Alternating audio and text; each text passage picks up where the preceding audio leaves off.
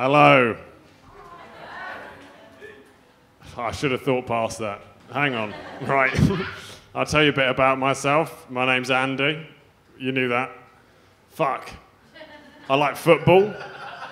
People don't expect me to like football because I look like a vegan Charles Bronson. but, but I do. I would commit the crimes. I've just not got the upper body strength, you know? just tr- trying to wound people, I just hug them. It's endearing, if anything. I'm also a bald man. You might have noticed that. I've not got any hair. You're welcome.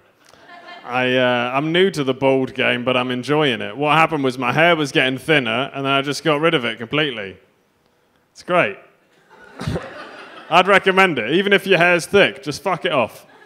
Join me. You know, I think you know going bald can be demoralising, but being bald takes like five minutes. Sick. Just fast forward to the end. I don't need to see it degrade. We're here now. You know. I've noticed since I've been a baldman that. Uh, uh, uh I thought that was a clap. Uh. Just one clap. Baldman. Uh, since being a baldman, I've noticed something I never really acknowledged before, but it's the thing they say to, to fluff up the baldies and make us feel better is that you lose your hair because you got too much testosterone. Look at me, I'm a little bitch. that can't be true, you know? That's how you know you live in a world run by men, isn't it? You know, if women went bald, we would say they were barren hags. Just fuck, dried up and done with life. Past your best. Go live in a home. Mango bald, it's because you're too butch, mate. I've also got a micro penis because I'm too good at DIY. I'm such an alpha, I just intimidated it into never growing. You're hung like a horse, are you? Well, I can wrestle a horse. Good luck swinging that around while I'm dominating your livestock.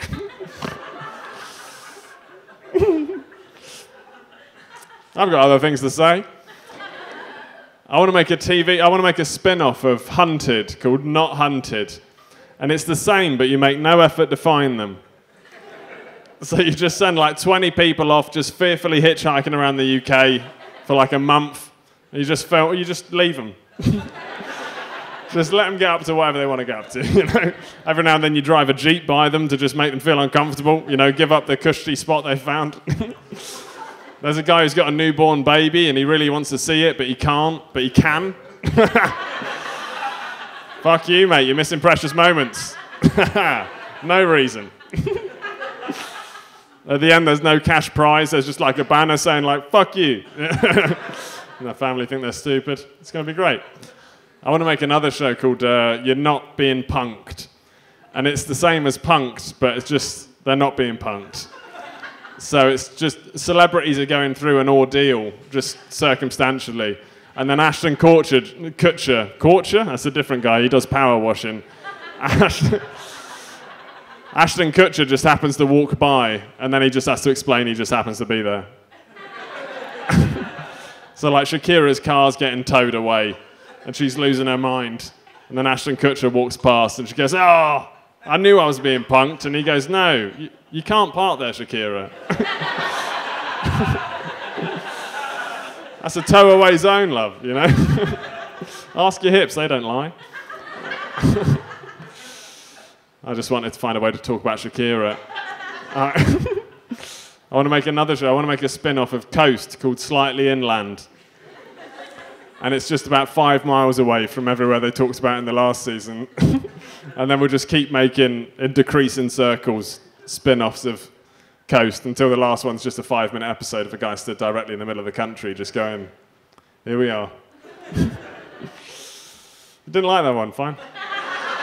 I like it, it's getting made, shut up. Whoever named brown sauce was not fucking about. it is what it is. they said, Do you want to get more creative with it? And he said, What colour is it? It's brown. what is it? Sauce. Fuck you. It's brown sauce. Grow up. the same guy named bagpipes. what is it? It's a bag with pipes. Fucking grow up. Whoever named passion fruit was too excited at the time.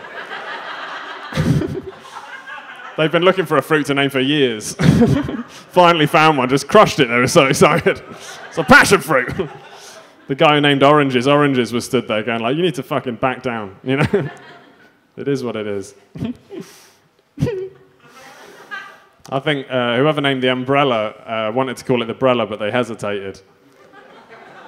and they brought it in, and the guy was like, "Oh, this is great. It'll keep the rain off." And what do you want to call it? Umbrella, umbrella, sick. Yeah.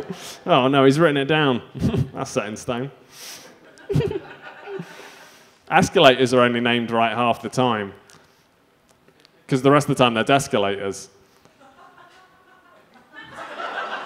That was for you.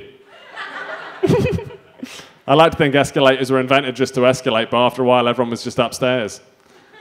and they went, oh, we're going to need a backwards one of these. That's the whole joke.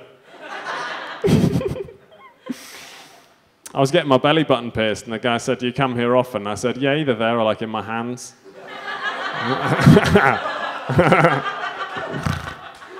I, did, I did the slap wrong. I just hit myself quite hard in the leg. My son's named after where he was conceived. His name's In the Pussy. That's gross. I did that joke on the internet and someone said, actually, it's in the oviduct. And I said, I think I know what my son's fucking name is. the arrogance of these people. I've not fully stopped bragging about how far I can ejaculate, but I have come a long way. Fuck you.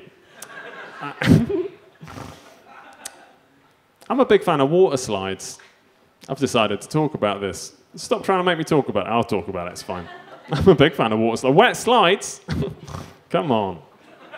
It's a weird time to be alive, but most people who were ever lived never went down a wet slide. So you're lucky to be here. Why has that got an R? no, you are. You're lucky to be here. Wet slides. Come on. What's my favourite part of a wet slide? Thank you for asking. You're lucky I've got a bit ready. Uh, it's the bit that goes outside the leisure centre for a loop. Come on, that's fucking elaborate.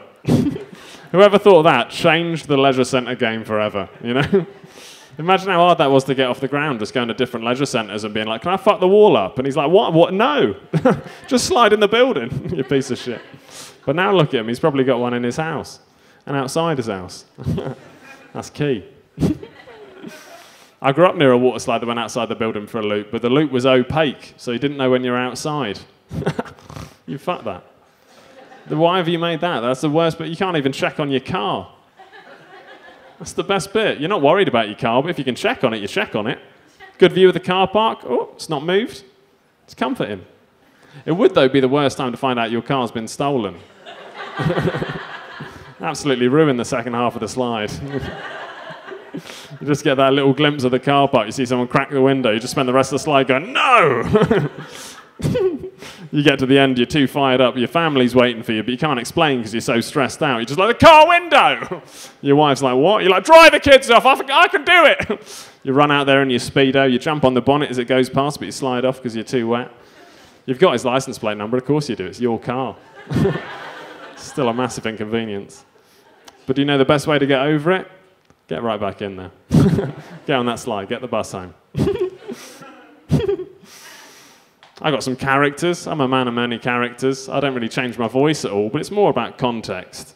What's the first one? It's Vague David. It's like Craig David, but he's less specific. We were making love sometime last week. Why are you asking? That's fine, I've got loads more. Uh, this one is Wrigley Scott. Uh, I directed Blade Runner. it's Wrigley. this is Henry VIII, but he's on an escalator. Oh my god, what is this? you wouldn't know. Moving stairs made out of swords? Fuck off. Two jokes about escalators in one set. You're welcome. Don't worry about it. uh, I've got another one. Do I? I do. I'll do this one and then I'll leave. This has been a lot of talking of me. um, right. This is the incredible. I don't need that. Start again. This is the incredulous Hulk. And he's like the Incredible Hulk, but he's incredulous. Disbelieving. I got you, mate. Don't worry about it. What? What do you mean? No, that's fine. I'll do one more and then I'll go. Right. this is uh, Belt on John. And it's like Elton John, but he's putting his belt on. I've got to take my belt off first. I'd have started the show without my belt on to make it smoother, but my trousers would have fallen down. Belts. Anyway, this is Belt on John. It's a little bit funny. This feeling inside. It's the whole thing. I'm not one of those who can easily hide. I don't have much money, but boy, if I did. All right, well, this has been great. I've been Andy Field. Thank you very much.